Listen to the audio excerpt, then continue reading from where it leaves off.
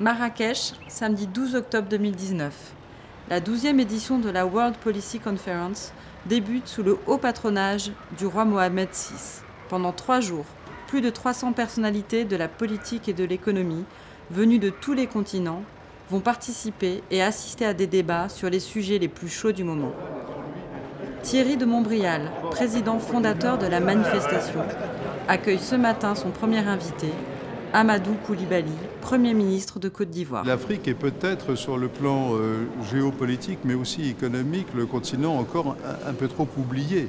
Et euh, le, risque d'ailleurs pour les décennies qui viennent, c'est qu'il devienne euh, un peu la proie du, du, reste du monde.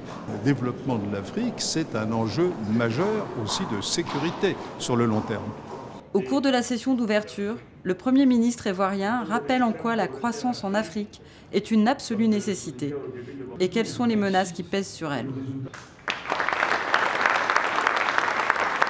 On a une bonne dynamique de croissance, donc, euh, comme je l'ai indiqué en Afrique, puisque notre croissance euh, donc en Afrique est supérieure à la croissance mondiale. Mais nous avons de réelles menaces, notamment qui sont des menaces donc, sécuritaires. Euh, auxquelles il faut faire face, notamment avec euh, toutes les questions liées au terrorisme, notamment dans la bande du Sahel. Nous avons donc euh, également des menaces que nous considérons comme étant importantes, qui sont celles du protectionnisme.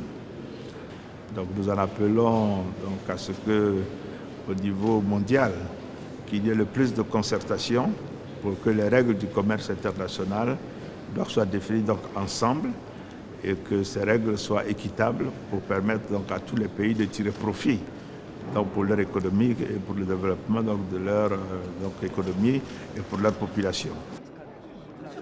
Sortir les pays africains de la pauvreté et améliorer la coopération économique. Une session d'ouverture qui donne le ton de la 12e édition de la World Policy Conference.